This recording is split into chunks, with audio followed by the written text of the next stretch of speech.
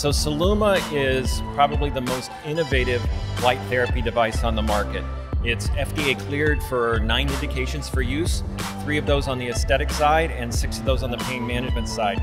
So it's really a whole body, whole family device. Anybody can use it, and it's great for upregulating cellular activity that's been compromised either due to illness, disease, trauma, bad behavioral habits, or just the normal aging process.